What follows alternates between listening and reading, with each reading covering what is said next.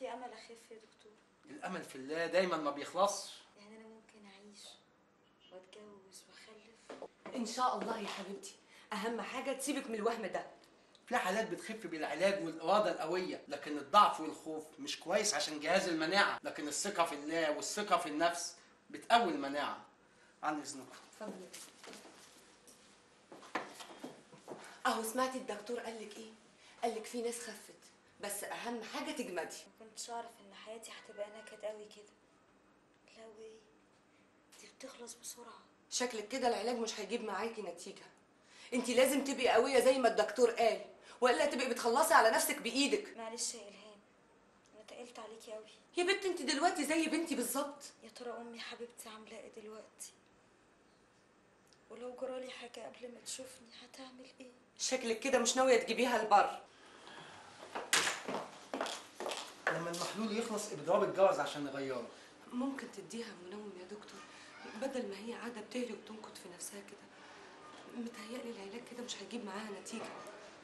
هشوف. عن اذنك اتفضل. إلهام. كنتي بتوشوشي الدكتور بتقولي له إيه؟ كنت بسأله عن مدة العلاج. امم والدكتور قال لك إيه؟ حسب ما التحاليل هتظهر. انت بتكدبي عليا. ما تحاولي تنامي شوية يا إنعام. ريحي يا أختي. يا ريتني أقدر. بقول لك إيه قومي روحي عشان تلحقي شغلك. لا أنا النهاردة مريحة. عندي ميعاد مع منتج ومخرج عايزيني في فيلم سيما. يا واد يا جامد إيه ده؟ بجد؟ إيه الخبر الحلو ده؟ أخيرا هتمثلي يا إلهام. قد كده فرحانة عشاني وأنا هموت من الحزن عليكي. رحتي فين ست النجمة؟ ست النجمة. أمال لو بقيتي سهير زكي ولا سامية جمال هتعملي فينا إيه؟ يا ريت. أنا فين ودول فين بس؟ يعني مش هتضايقتي معايا؟ لا محدش بيقعد مع العيانين. خايفين يتعدوا من المرضى. هي بنتي العدوى دي ما بتجيش غير من حالات معينة. ملهاش دعوة بالبيات جنبك. الظاهر إني لازم أسيبك. هجيلك الصبح. ماشي عشان تطمنين وتقولي لي عملتي إيه في الفيلم وهتاخدي دور إيه. بس أهم حاجة هيدوكي كام اوعي تتنازلي ماشي. أسيبك مع علاماتك يا أختي. ماشي. سلام. سلام.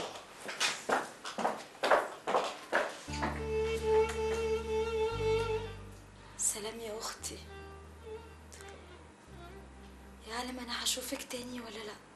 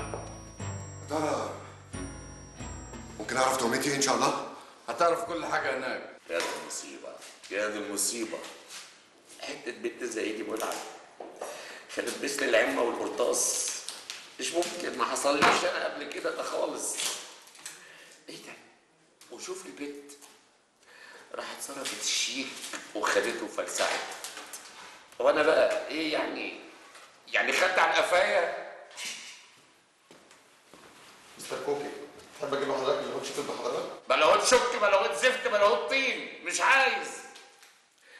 اعمل لي قرفة اعمل لي هوساده ما هو ده اللي جاب تاج الأرض. مش عايز هوت زفت ده. اتفضل يلا.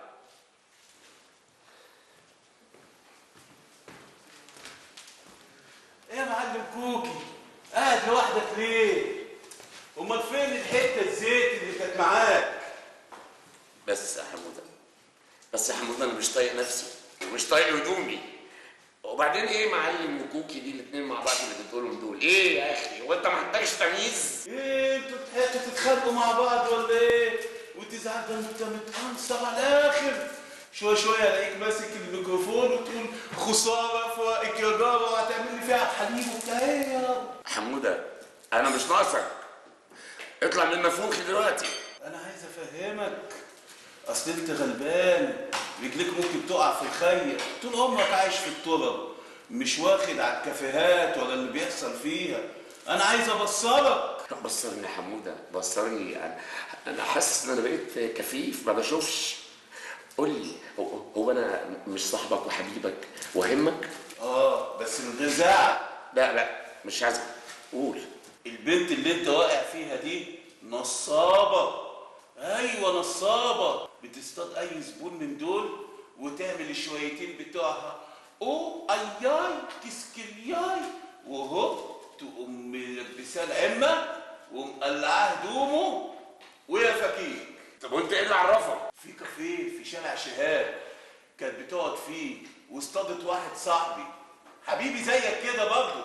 مبيش حبتين من العيال اللي شغالين في الساغة. عملت عليه الحبتين دول بس قبل ما يقع في الخية أخوك كان لاحق على طول. ما نصبتش عليه غير في حتتين دهب يجوا ب 5000 جنيه. يا نهار أبيض وحس يعني أنا كعيد ده كله وصرفت ده كله وما لحقتش حتى آخد بوسة. بتقول حاجة معلم كوكي لا ما بقولش حاجة خلاص. أنا مشيتها من هنا وقطعت رجليها ومش هتيجي هنا تاني خالص. اوعى تكون طبيت يا معلم كوكي لا! قلت لك لا خلاص. في سؤال كان نفسي أسأله لك من زمان يا حمود هو هو أنت بت- بتشتغل إيه؟ أنا عندي مصنع بسطرمة كده ولانشون على جبنة رومي كده يعني. صح. صح اللي أنت قلته ده يركب معاك بالظبط. ناقصك بس آه، تفتح مصنع سجق. آه بس مفيش واحدة في مصر كلها قدرت تضحك عليا. شكله عارف كل حاجة وفاقس كل حاجة. ياخدني على قد عقلي. وهو بيقول إن أنا حمار بقول لك يا حمودة هو كيلو البسطرمة بكام؟ أنا مش عايزة حد من الزباين يشتكي منكم وأهم حاجة عندي العدة تبقى نضيفه وزي القشطة فل كده وتحطوا لي تحت كل فنجان أو كوباية منديل ورق. واللي أهم بقى من كل ده الوش يبقى بشوش. ما تقلقيش يا مدام فتحية كله هيبقى تمام. إن شاء الله يا حبيبي. الراجل اللي قبلك ما كانش كده. كان كل همه يجي آخر النهار يقول عملته كام وإيدك على المعلومة. لا ما أهم حاجة بقى في الشغلانة دي النظافة والصنعة. ده أنا كان عليا فنجان قهوة. يا سلام. اسأل عليه. كانت الزباين بتتسطل منه الكبير قبل الصغير. أنت كنت فاتحة البوفيه بتاعك فين يا مدام فتحية؟ ما تفكرنيش. في مكان كله كرم ورزق. يلا الحمد لله كل شيء نصيب. قفلتيه ولا إيه؟ ما تشغلش بالك انت. على فكرة انت ست طيبة قوي يا مدام فتحية. كتر خيرك وعرفت منين؟ علشان ما رضيتيش تخلينا نمشي بعد ما رست عليك المناقصة بتاع البوفيه. وعرفت كمان انك قلتي انك ما بتحبيش تقطعي عيش حد. لا ما أنا عندي عيال ولازم اراعي ربنا وما احبش ابدا حد يقطع عيشه. ولادك بيشتغلوا إيه يا مدام فتحية؟ اتنين قهوة واحد ينسون في البلاتو يا مدام فتحية. حاضر يا أخويا من عيني. روح أنت اعمل اليانسون وأنا هروح أعمل القهوه لا قهوة إيه؟ إيه قهوة إيه اللي هتعمليها؟ ما يصحش. اللي ما يصحش؟ دي شغلتي. أنا ما أقدرش أقعد كده من غير شغل. وبعدين دي القهوة دي ما تبقاش حلوة غير من إيدي. إنما يا أخويا أنا عايزة أسألك. هو مين الخواجة بلاتو ده بيشتغل إيه؟ البلاتو ده هو الاستوديو اللي بيذيعوا منه البرامج. اسمه البلاتو. آه اللي بيطلع منه التلفزيون؟ أيوه. طب يا أخويا روح أنت اعمل اليانسون وأنا هعمل القهوه من عينيا. تسلم عينيك حلو قوي السؤال ده ومحتاج إجابة تفسيرية لقوانين الإستثمار. تمام يا دكتور. ده مرتبط على فكرة بسوق المال. طيب أنا كنت عايزة أخد رأيكم في سؤال عشان نبقى عارفين بالظبط إيه وجهة نظركم في الكلام اللي اتفضلي يا بنتي.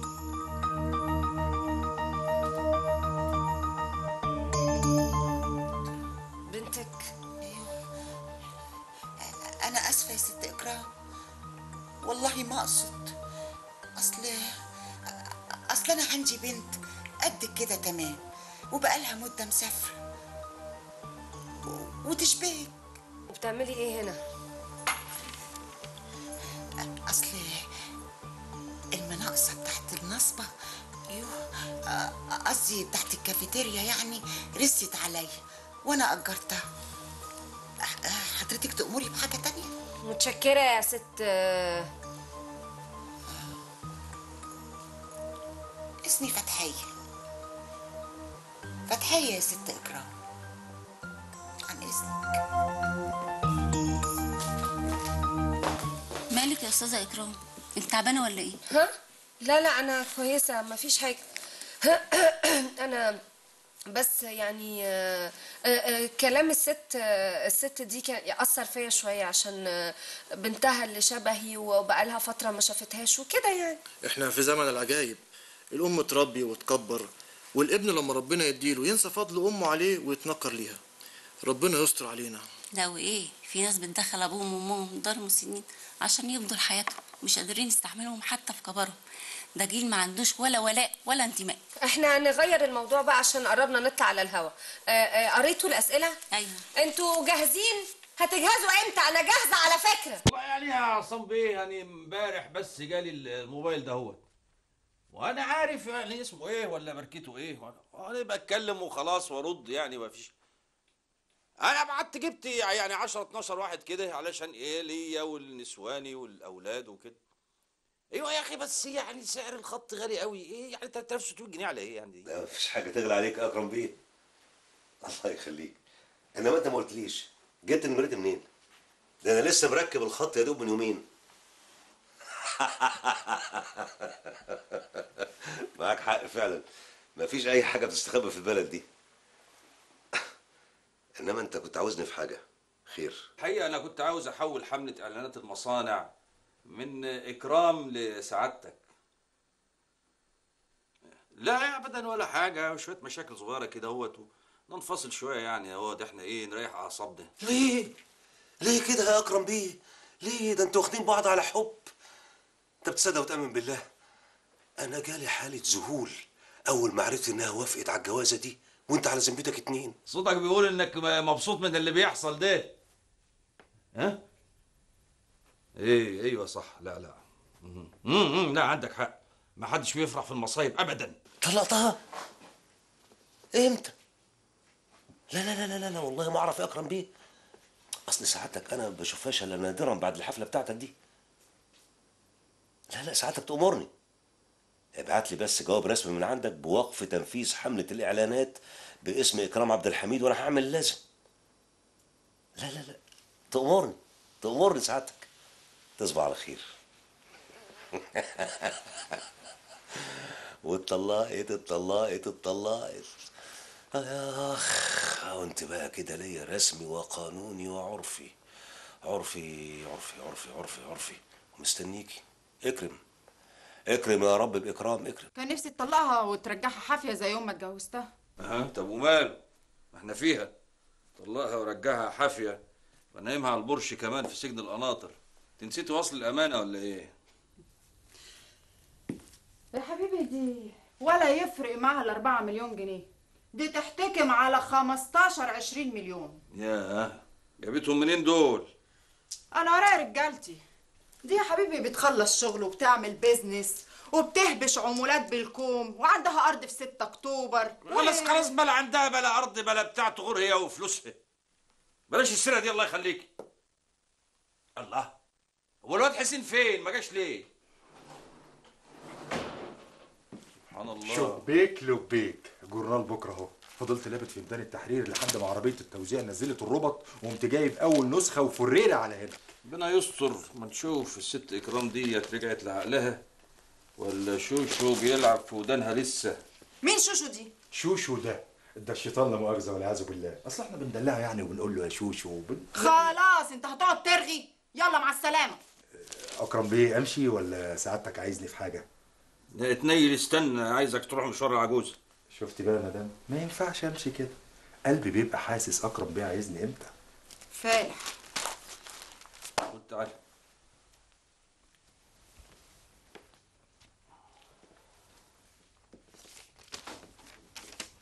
شايف الشيك ده اهو؟ تاخده تروح على العجوزة تقابل جمال بيه. تديهوله في إيده بس بشرط محدش يكون معاه مفهوم؟ خلاص يا فتحية بقى. انت ما ارتكبتيش أي ذنب عشان تعملي كل اللي بتعمليه ده؟ بطلي عياط؟ أنا مشيت معاك مشوار البوفيه ده والسكينة سرقتني. كنت فرحانة يا جلال بيه إن أنا هبقى في وسط ناس. بس نسيت خالص إن إكرام بتشتغل مذيعة هنا وحضرتك ما نبهتنيش من أول ما جيت لا حول ولا قوة إلا بالله. انبهك ليه بس؟ وانت بتعملي إيه غلط؟ ما انت بتشتغلي بتتعبي بما يرضي الله. برضه بتشتغلي بياعة شاي وقهوة؟ حتى لما حبيتي تغيري جلدك ما نسيتيش أصلك. حاسبي على كلامك يا إكرام. ما يصحش أبدا تكلمي والدتك بالطريقة دي. لا من قدامي ولا من ورايا. ليه إن شاء الله. حضرتك كنت جوزها ولا ابنها ولا أخوها؟ وانتي انتي مصممة تطلعي لي في كل حتة عشان تفضحيني؟ أنا أفضحك. اخص عليك يا إكرام. الله يسامحك. أنا هنا بس بقالي كام يوم. ونسيت أنت ليه بتعملي كده؟ أنا عايزة أفهم. ليه مش عايزة تسيبيني في حالي؟ ليه مش عايزة تنسيني وتطلعيني من نافوخك؟ ده أنا رحت اتجوزت واحد متجوز مرتين عشان أخلص من الماضي بتاعي. ومفيش فايدة. حضرتك بتطلعي لي في كل حتة. يا إكرام ما يصحش كده. اهدي شوية عشان نتكلم بهدوء. ونقدر نعرف بالظبط اللي بتعمليه ده يستاهل ولا ما يستاهلش؟ ما يستاهلش. إزاي يا جلال بيه؟ أنا أعمل إيه؟ شكلي إيه قدام الناس اللي بتشتغل في القناة والضيوف لما يعرفوا إن أمي بتاعت شاي وقهوة؟ عموما لازم تفتكري إن الست العظيمة دي تبقى والدتك. وبالرغم من كده ما حدش هنا يعرف. لكن بقى بعصبيتك وصوتك العالي هتعرفي الناس كلها. حلوة قوي. خلاص قبل الناس ما تعرف واتفضح تمشي دلوقتي حالا. والله يا بنتي أنا كنت ناوي أعمل كده من ساعة ما شفتك في البلاتو. وبصيت في عينيكي. لقيت كلها نكران جميل وحقد وكر وعلى مين يا إكرام. على أمك اللي شالتك في بطنها تسعة أشهر وكبرتك. لا يا فتحية أنت مش هتسيبي القناة وما تنسيش إنك ماضية عقد وخدتي المناقصة وفيها شرط جزائي 150 ألف جنيه. أنا هكتب لك شيك ب 150 ألف جنيه وهي تمشي دلوقتي حالا. أنا مش مستنية منك حاجة. وفري فلوسك يا عين أمك. ليه كده يا إكرام؟ ده أنا طول عمري بقول عليكي هادية ووديعة. متحفزة آه؟ لكن قلت الطموح اللي جواكي هو اللي مخليكي متحفزه كده عشان تنجحي. جلال بيه أنا مش عيلة صغيرة عشان حضرتك تديني محاضرة في علم النفس. مش محاضرة ولا حاجة. أنا حبيت أدلو عليكي شوية مية ساقعة يمكن تفوقي من الغيبوبة اللي أنت عايشة فيها دي من زمان. ياه لا الحكاية مش مستاهلة كل ده. ما توجعش قلبك يا جلال بيه. مفيش فايدة. دي بنتي وأنا عارفاها. بس من النهارده خلاص ما بقتش بنتي. حاضر يا اكرم أنا همشي من هنا. بس بقولها لك أهو قدام جلال بيه ما تكمليش يا فتحية ما ينفعش تغضبي على بنتك. بس انت بقى مش هتمشي من هنا ولسبب بسيط جدا. ممكن أعرفه من فضلك؟ لأن أنا بقى صاحب القناة وأنا أقول مين اللي يقعد ومين اللي يمشي. آه أفهم من كده وبصريح العبارة إن حضرتك مستغني عني. بتفضل فتحية بتاعت الشاي عليا. فتحية بتاعت الشاي دي تتكلمي عليها دي تبقى أمك. خسارة إنها تكون أمك. أنت ما تستاهليهاش. عموما من النهارده اعتبري إن العقد اللي ما بيننا هيتفسخ والشرط الجزائي خليهولك مش عاوزه. وأنت ماشية عدي على الحسابات عشان تاخدي بقية حسابك اللي أنت أساسا ما تستاهليهوش. مع السلامة يا اكرام ومش عايز أشوف وشك تاني هنا في القناة. حظ سعيد يا ست هاني في حتة تانية. مع السلامة. تصدق ان أنا غلطانة اني خلصت لك فلوس الجمارك بتاعت المعدات؟ يا سلام. واخدت حقك يا ست هانم على داير مليم بالتمام والكمال. لا! أنا ما خدتش حقي. لسه في بقية حساب ما خدتهوش. وهاخده.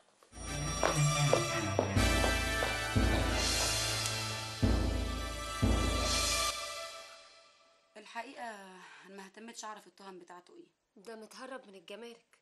عليه حوالي 700 مليون جنيه. تفتكري في حد كان بيسانده؟ وبعدين دكتور زكريا ممكن يكون هو السبب في دخوله السجن؟ بصي أنا لما كنت بشتغل في البيزنس بس ما كنتش أعرف حاجات كتير. لكن لما دخلت مجلس الشعب واتجوزت أبو العز لقيت الدنيا حاجة تانية خالص. واللي أنا فاهماه ده ولا حاجة. وبعدين دكتور زكريا ملوش علاقة بدخول أبو العز السجن. طب وهتعملي إيه مع أبو العز؟ ناوية تتطلقي؟ إحنا فعلا اتطلقنا. وفي حد هيجيب قسيمة الطلاق. طب يا ترى لسه عندك استعداد تحبي؟ طول ما القلب بيدق هفضل أحب. أنا بشكرك جدا جدا جدا يا مدام شيرين على الحوار ده. بجد كان حوار ممتع. عن يا. إكرام أنا اللي بشكرك جدا. ها قولي لي هيتنشر إمتى؟ قبل ما يتنشر هكلمك قبليها على طول. okay. عن إذنك. bye bye.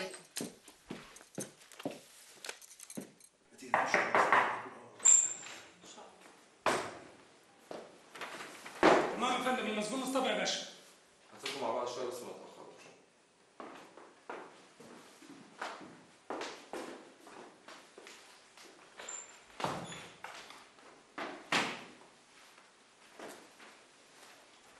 إزيك يا مصطفى؟ شدة وتزول الأستاذ مظهر طمني وقال إن ميعاد الاستئناف قرب وهتخرج إن شاء الله طالما خايفة مني جيتي تزوريني ليه؟ هو انت تقتلي القتيل وتمشي في جنازته؟ وأنا هخاف منك ليه يعني؟ وبعدين أنا أمال جايبة الأستاذ معاكي ليه؟ أنا لقيتها فرصة أجي مع المدام وأتكلم معاك على لسه الاستئناف يعني هتكلم أنا والمدام في وجودك؟ اللي أنت عايزه يا مصطفى معلش يا متر ممكن تتفضل تستناني بره شوية؟ بس يا مدام يا متر قالت لك استناني بره خلاص أنا عارف إن أنت جاي تنقل كل المعلومات لتيسير بيه لا مش كده خالص والله. خلاص قالت لك استناني بره ما تقلقش عليها. مش هعمل معاها أي حاجة. مش هينفع أعمل معاها حاجة هنا. معلش يا متر اتفضل أنت. طيب يا مدام. أنا جنب الباب لو عوزت أي حاجة.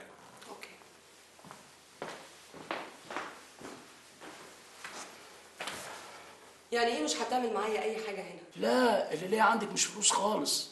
أنا مدينك بثلاث سنين سجن ودول يساووا كام يا مصطفى؟ لا دول يساووا عمرك كله. بص يا مصطفى أنا جاية أقول لك كلمتين. أنا ماليش دخل خالص باللي حصل. خلاص وفر الكلام ده وحسابنا بعدين. مصطفى. وحشتني يما حقك عليا يما وحشتني. بدعي لك يا ابني ربنا يفك كربك ويفك سجنك يا رب. هي النبي حارسها تبقى مراتك؟ لا يا ماما. إحنا بنشتغل مع بعض. امال الواد مصلحي ابو حماد بيقول لي مصطفى هيعزمك على فرح؟ وقلت هيتجوز من ورانا. أنا أقدر يما أنا فعلا كنت هتجوز بس طلعت ما تستاهلش. هي الخسرانة لا هتلاقي في جدعنتك ولا في رجولتك. معلش يا ضنايا البلد مليانة بنات زي الرز. بس انت إن شاء الله كده تخرج من السجن وتشاور على أي واحدة هيترموا تحت رجليك. طبعا أي واحدة في الدنيا تتمنى تتجوز راجل جدع زي مصطفى. أنا معاشراه من سنين بس كل شيء اسمه نصيب. أه، وأنت يا شابة متجوزة؟ أيوه يا ماما. يا خسارة. كان نفسي تتجوز واحدة كده في عودها كده. معلش يا ماما تعالي بس ارتاحي أنت وحشتيني تعالي. متشكر قوي يا مدام الهام ما تتعبش نفسك تاني. أنا لما اخرج هجيلك بإذن الله. اوعى قلبك يسود. ساعتها مش هتبقى مصطفى اللي أنا عرفته. أنت ما عرفتنيش خالص. عموما أنا عملت اللي عليا. أشوف وشك بخير. كتر خيرك يا مدام الهام مع السلامة. انت عرفت إن إكرام اتطلقت من أكرم العبد؟ ده خبر الموسم يا ريس. خبر بمليون جنيه. إيه رأيك بقى لو نزلناها هنا في صفحة المجتمع؟ لا لا لا لا لا لا لا اخس اخس عليك يا شريف ما يصحش. إكرام مهما كانت يعني زميلتنا في الجورنال. إيه. انت عاوز نعمل لها فضايح يعني ولا إيه يا راجل عيب يا سلام عليك. بتعجبني قوي حنيتك وطيبة قلبك يا ريس. أدخل.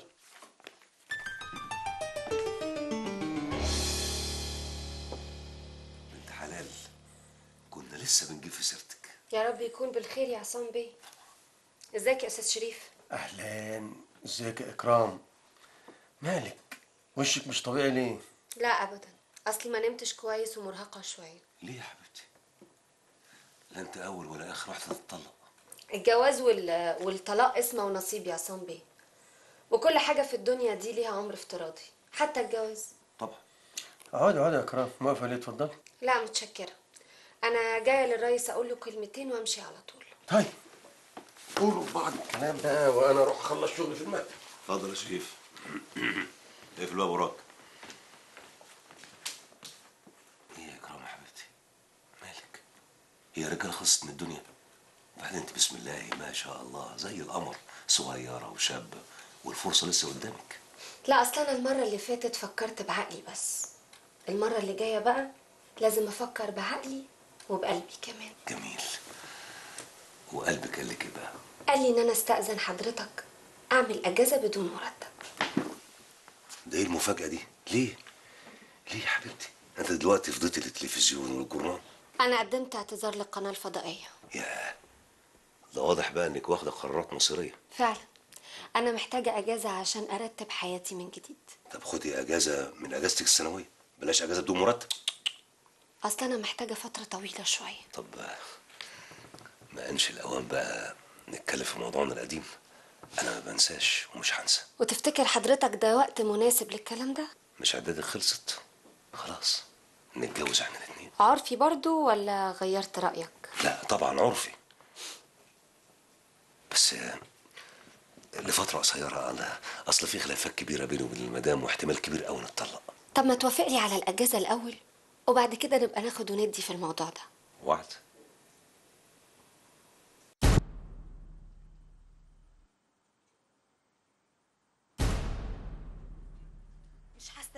تموتني تاني. قتلتني مرة وأبقى عبيطة لو صدقتك. لازم أخلص منك يا ندل يا جبان. ما جيتش تتجوزني ليه يا كروان؟ زمان كنت فاكرة إني عقل لما سلمت لك نفسي وروحي. ودلوقتي لازم آخد روحك. قتلته قتلته. قتلته. يا حبيبتي انت بتحلمي؟ قتلتي مين يا إنعام. كروان ند معلش يا حبيبتي. إن شاء الله هتخفي وهجيبهولك متكتف لحد عندك. وحياة أمه لازم يكتب عليكي يا حصلت يا إلهام. تجيبولي تحت التهديد. أنا هعرف آخد حقي منه كويس قوي مش هيفلت من إيدي. اسكتي. مش الدكتور قال إنه متفائل خير وإن النتائج بقت كويسة؟ تعرفيش أخبار عن أبوكي وأمك؟ إحنا في إيه ولا في إيه دلوقتي؟ مالك يا إلهام. أنت شكلك مهموم كده ليه؟ كنت فين كده من بدري؟ كان عندي مشوارين الصبح. خلصتهم وبعدين جيتلك قولي لي بقى فطرتي؟ آه جابولي الأكل وادوني الدواء. شدي حيلك يا انعام إن شاء الله هتخفي يا حبيبتي.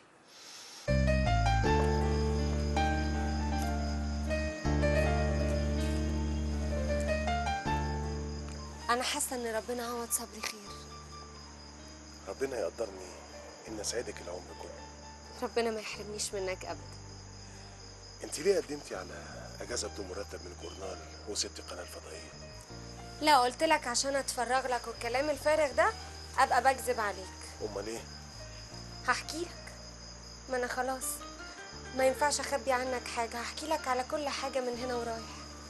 أنا عايز أعرف من دلوقتي. ومستعجل قوي كده ليه؟ أنت وراك حاجة؟ يعني مستني ضيف ولا عندك مشوار ولا وراك اجتماع؟ عندي حاجة أهم من كل ده. إيه هي يا ترى؟ اجتماع معاك أنت. ويا ترى هتناقش إيه في الاجتماع يا معالي الوزير؟ لا الاجتماع ده بقى أنت الوزير وأنت رئيس الوزراء وأنت الشعب كله. لا والله يا عصام بيه أنا ما عنديش أي فكرة ان اكرام اتطلقت لا. أنا الحقيقة مش غاوي إني أدور على أخبار الناس لكن أنتم بقى صحفيين ودي شغلتكم طب خد دي عندك بقى يا سيدي. أنت عرفت إنها اتجوزت لبيب الغامدي؟ وزير المالية. لا في الحقيقة أنا ما عنديش أي فكرة عن موضوع الجواز ده. بس يا سيدي طالما اتجوزت على سنة الله ورسوله يبقى خلاص مفيش أي مشاكل. هتعملوا إيه مع الناس بعد البرنامج ما وقف؟ وأكرم العبد صاحب فلوس الجوايز بالنسبة للبرنامج يا سيدي فالبرنامج مستمر زي ما هو وبمذيعتين كمان بدل مذيعة واحدة. بالنسبة للجوائز فالجوائز هتفضل زي ما هي إذا ما كناش هنزودها كمان. ماشي يا عصام بيه خليني أسمع صوتك وأشوفك.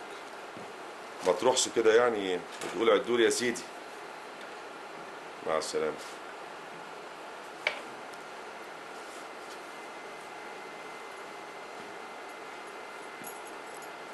إيه يا جلال بيه؟ اللي واخد عقلك يتهناه. انت عرفت ان اكرام اتجوزت وزير المالية؟ وزير حتة واحدة. ربنا يهنيها يا جلال بيه ويصح حالها البنت دي غريبة قوي. نادرا ما الواحد بيقابل واحدة من النوعية دي. هي طول عمرها كده يا جلال بيه. محدش يعرف عنها حاجة. تنجح تسقط ولا تعرف. عارفة سكتها كويس قوي ومستعدة تدوس على أي حاجة في طريقها. في سبيل انها تحقق هدفها وده على فكرة خطر جدا. أنا مش فاهمة حضرتك. أنتوا ما عرفتوش إنها اتجوزت؟ والله يا جلال بيه ما أعرف حاجة عن الموضوع ده إلا من حضرتك دلوقتي. وتلاقيها قالت للوزير ده إنها مقطوعة من شجرة. ولا تلاقيها قالت له أهلها كلهم ماتوا. يا ساتر يا رب معقولة للدرجة دي؟ وأكتر من كده يا جلال بيه. اللي ربى خير من اللي اشترى. سيبك من الكلام ده دلوقتي. الله. القهوة بتاعتك تجنن. عارفة؟ قبل ما انت يا ستي تيجي تشتغلي هنا كنت خلاص كرهت الشاي والعصير من كتر ما كنت بشربهم كل يوم. انما من ساعة ما انت بقى شرفتينا وجيتي هنا أنا خلاص بقيت مدمن القهوة من إيديكي بالذات. ربنا يكبر بخاطرك يا جلال بيه. زي ما خرجتني من التربة. اللي كنت عايشة ودفنة فيها نفسي بالحياة. وأخبار المعلم كركر إيه؟ وغلاوتك يا جلال بيه ما أعرف عنه حاجة من مدة طويلة. يعني أنت ما فكرتيش تسألي عنه ولا تعرفي حتى هو راح فين؟ وحنيل بيه إيه؟ الله هو مش جوزك ولا إيه؟ جوز النيلة بعيد عنك.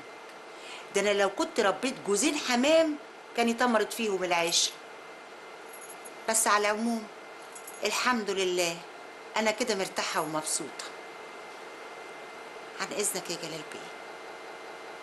فتحية. الطقم ده حلو قوي عليكي شيك. كتر خيرك يا جلال بيه. أول مرة في حياتي حد يقول لي كلمة حلوة. عن إذنك.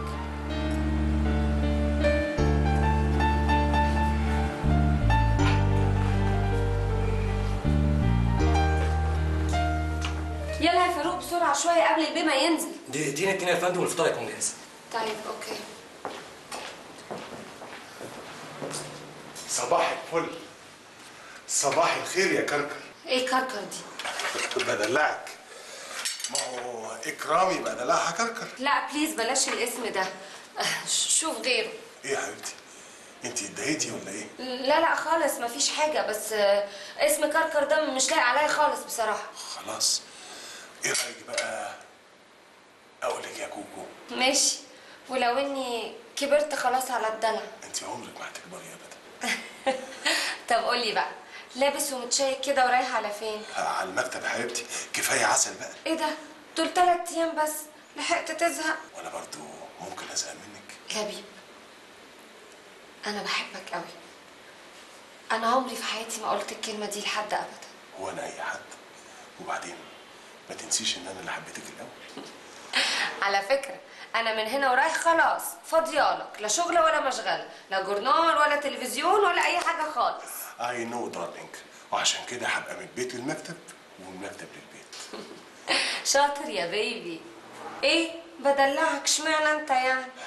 طيب يا ستي على فكرة أنا عندي اجتماع مجلس وزراء النهارده ويمكن أتأخر على الغدا. حبيبي هستناك لحد ما تيجي.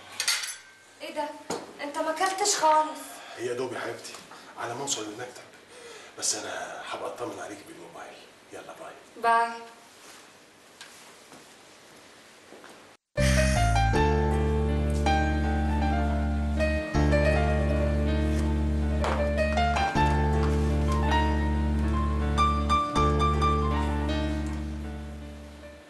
ألو يا فوزية ازيك؟ وحشتيني. أخبارك إيه؟ أنا تمام كويسة الحمد لله. بقولك إيه ما تعدي عليا ندردش سوا كده ونقعد مع بعض؟ آه في البيت. خلاص أوكي. اكتبي العنوان.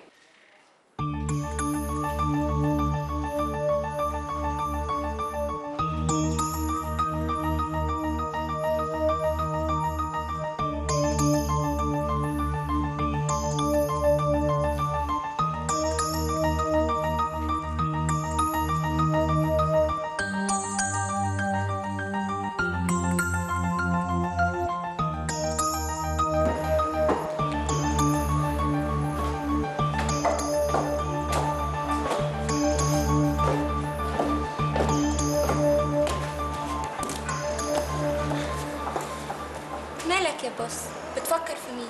ابدا. بس حاسس إنه في حاجة هتحصل. تحب أجيب الكوتشينة وأفتحها لك؟ إحنا هنهزر.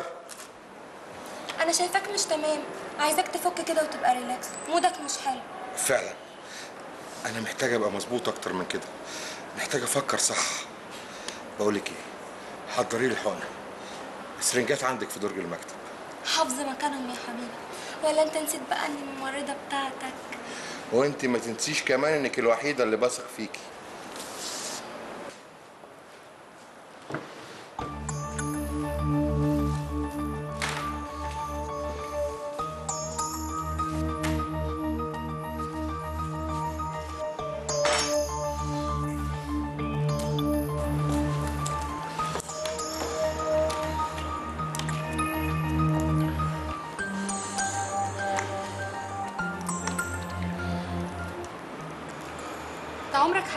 بجد يا بص مرة واحدة كده عشت تجربة يعني.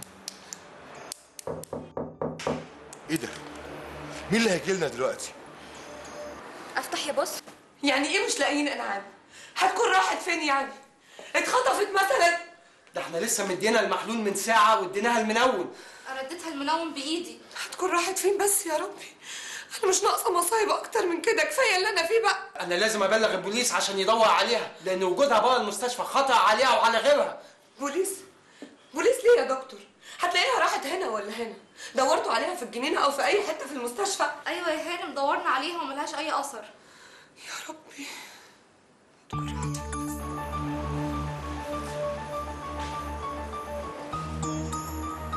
أنت عرفت الطريق إزاي؟ يسأل ما يتوهش. هو انت بتسألي على القصر العيني؟ أكيد مدام لولو هي اللي قالت لك واديت لك العنوان.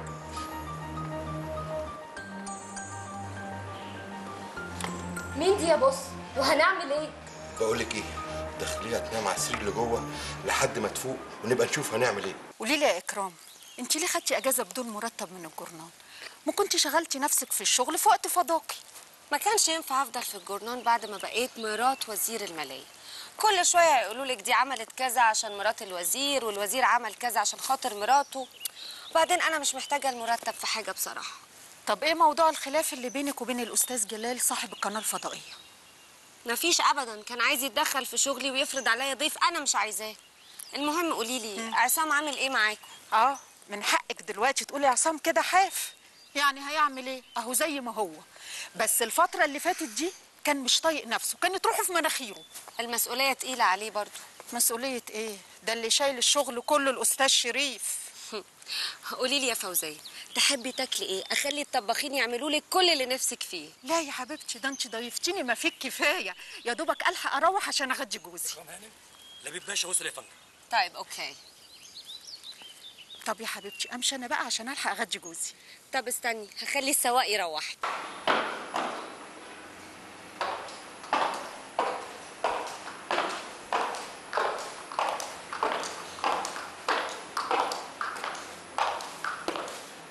مالك يا حبيبي قاعد بهدومك ليه؟ ابدا يا حبيبتي. هقوم أغير حالا. في إيه يا لبيب شكلك مش مبسوط. في حاجة حصلت ولا إيه؟ مفيش يا ستي. رئيس الوزراء بيحملني مسؤولية التخبط في سوق العملة. شايف إن الوزارة ما نجحتش إنها تضرب السوق السوداء والدولار عمال يطلع. طب وأنت ذنبك إيه؟ أنت بتعمل اللي عليك. وبعدين الاقتصاد كده كده أصلا متدمر. وهم مش حاسين بأي حاجة عمالين يضحكوا على الناس ويقولوا خطة خمسية ومش خطة خمسية. كل اللي شاغل بالهم كراسيهم وخلاص. قولي انت ماسك عليهم ورق؟ عندي. بس الواضح إن هم عايزين كبش فدا يقدموه للراي العام. طب بقول لك إيه يا حبيبي؟ تعالى نتغدى واحكي لي على كل حاجة وإن شاء الله هنلاقي حل. ماليش نفس. يا ريت تعملي لي كاس. على لحم بطنك كده؟ خلاص خليه وعين حاضر. يا درش طمان الاستئناف عمل إيه؟ خدت سنة الحمد لله. ألف مبروك يا عمو. أهو كده مدتك قربت تخلص يا باطل. ممكن بقى ترسيني بالعقل إيه اللي مزعلك؟ يا عم لا زعلان ولا حاجة.